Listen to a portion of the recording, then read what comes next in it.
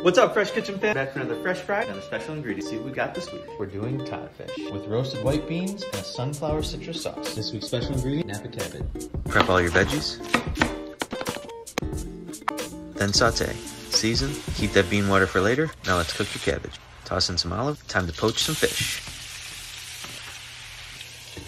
Add the bean juice, sunflower seeds, and lemon, and blend it up with some vegetable oil. Strain it, plate it up, poached codfish, braised Napa cabbage, and sunflower citrus sauce. sauce.